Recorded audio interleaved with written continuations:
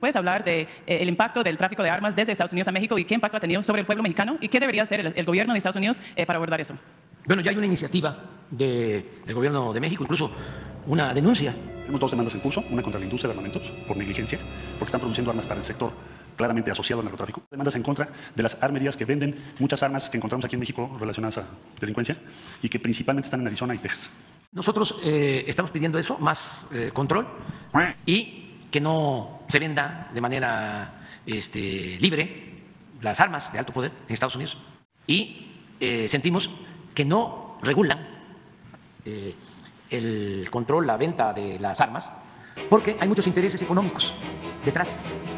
No vemos bien nosotros que los fabricantes de armas apoyen a diputados y a senadores en sus campañas. Por eso hay senadores, diputados que guardan silencio y otros que de manera descarada defienden la enmienda en donde se permite el uso indiscriminado de armas.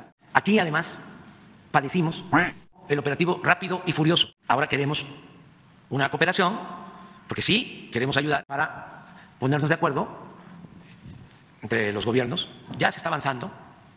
Me consta que el presidente Biden tiene eh, buenas intenciones, porque, por ejemplo, el que era jefe de la DEA en un tiempo en México, lo tuvieron que quitar porque tenía relaciones con narcotraficantes. Y por eso también la desinformación del senador porque seguramente tiene información de la DEA que no es información buena.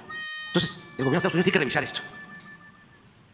O sea, usan mucha información con propósitos politiqueros.